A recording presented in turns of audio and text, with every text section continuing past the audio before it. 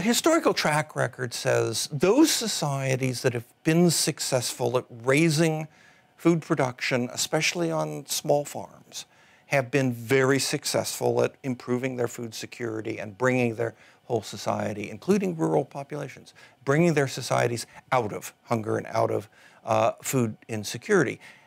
But at the same time, even when food production is increasing rapidly, there will still be many households that do not have access to that food. And so something has to go on in the rest of the economy as well as just on the small farms. That rest of the economy is the structural transformation, creating jobs creating incomes for people who are actually not going to become food secure by growing their own food. They're going to get decent wages in cities and buy food in markets. Well, do you believe in supply or demand? Uh, you know, Malthus basically thought the world was supply constrained and we would run out of food and that would keep the population under control. Sen thinks there's plenty of food out there. It's the poor do not have access. There's not enough demand at, among the, the, the, poor populations. Uh, and it's interesting. In 2008, you would have said, boy, we're going into a Malthusian world. But here we are in November of 2014, and everybody's worried about low commodity prices. Oil prices are falling. Corn prices, my friends in the Midwest are bemoaning. They, they thought the corn prices were going up, and they've gone down. And, and so it's almost as if we're, we're in a Senian world because there's still hunger. Even with lower prices and easy supplies out there, there's still plenty of hunger. There's a lot of people food insecure. So I guess I'd have to say we're in a Senian world right now, but the worry is climate change, things change very quickly. The worry is we could go into a Malthusian world fairly quickly, and then, you know, how, how prepared are we? I think there are two fundamental insights from, uh, from behavioral economics.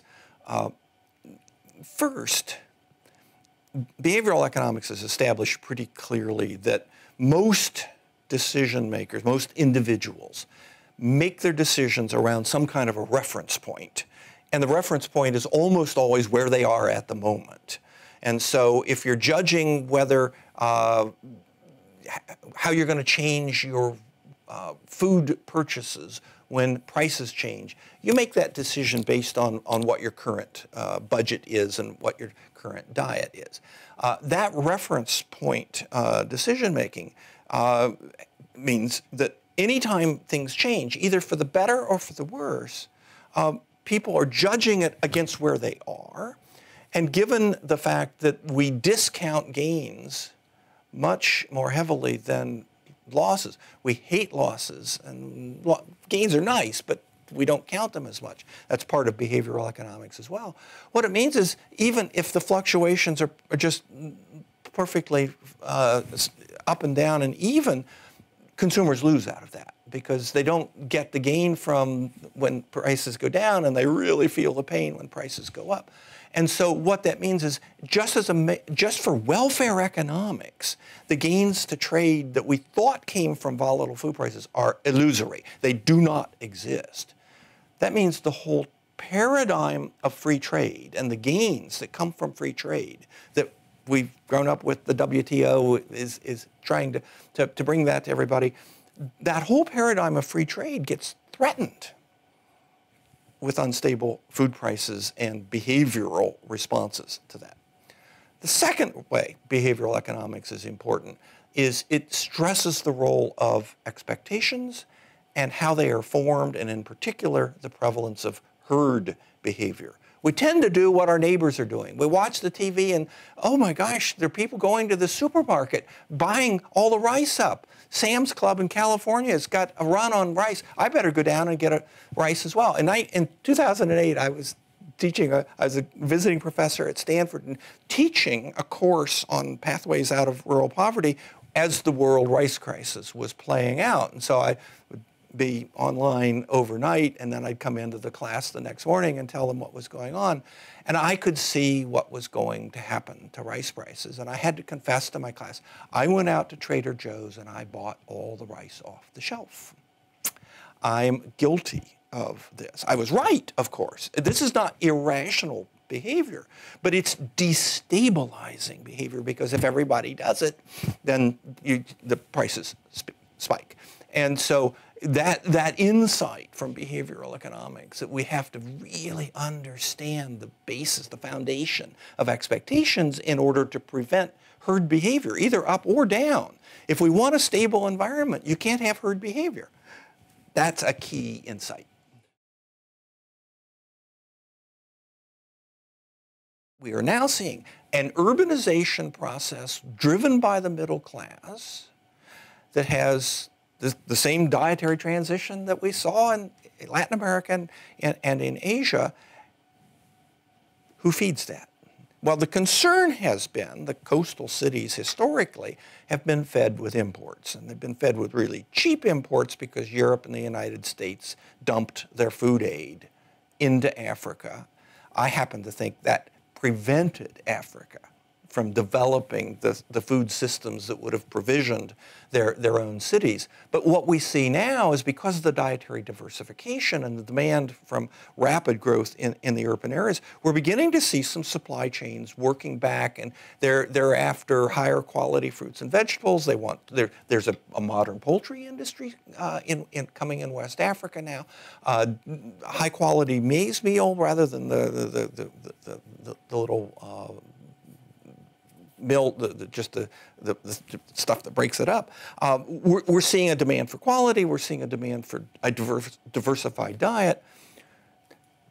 I don't see any real reason why African farms can't respond to that if the supply chains work their way back. Um, Tom Reardon, who's uh, the, the, supermarket guru that I, I, work with a lot on agricultural marketing, has just done a paper on urbanization in, uh, in sub-Saharan Africa. And he was just startled to see how rapidly urban demand was growing. Now, I think there's a legitimate question. Can urban demand grow a middle class without any significant industrial base. Is Africa really just going to skip over industrialization and go straight to a modern service economy, build a, a transformed, productive agricultural system in the rural areas that will feed a modern service economy in the urban areas and let Asia produce the, the widgets, you know. Uh, I'm, I don't know. I mean, this is, there's nothing in economic history to help us play that scenario out, but I think we have to think about that scenario going forward. But it's very clear that urban areas are a real source of demand now in Africa. Um, they're, they're, growing on, on their own. It's, they don't rely on a successful structural transformation, sending surplus workers to go into the factories. They're, they're, they're, they're dynamic on their own. Now, in China, half of the rice that China consumes is procured in supermarkets. It comes in branded bags from very large scale, highly integrated modern rice mills owned by the big conglomerates of the world. Cargill's in there, Wilmar's in there. I mean, there's, there's, this is big business in the the modern supply chain sense. And these supermarkets are integrated pretty much back to the mill, and the mill now has contracts with farmers to produce exactly the quality of rice they need to put in that bag to get to the supermarket. This is going to be a different world. It used to be, I'm sort of made my professional career emphasizing the fact that stable keeping rice prices or food prices, keeping them stable was a public activity because the private sector makes money when prices go up and down. They love market fluctuations and volatility. And so stable food prices has always, have always been a public responsibility. And in Asia, they really took that seriously. Asia knows how to stabilize rice prices.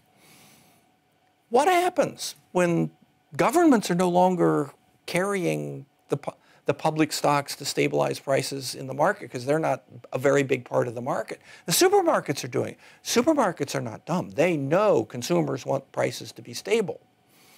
There are few enough supermarkets in each market that they can just tell their suppliers, we need to keep prices stable. You keep enough supply in your storage in your, at your rice silos. You keep enough supply that we can keep our prices stable. We'll have to charge a little more for that. Consumers are perfectly happy to pay a little more if the price will stay stable. Or, think about urban consumers. They're completely vulnerable to the market.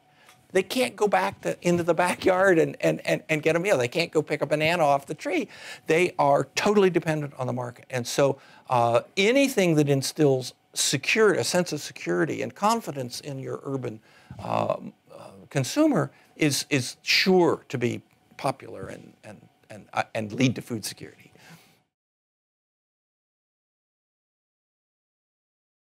We have to stop converting foodstuffs into liquid fuels. We, I don't know whether we do it with taxes or regulation, whether the, I don't think the economics are actually ever going to quite go away, so I think it's going to take some kind of government action.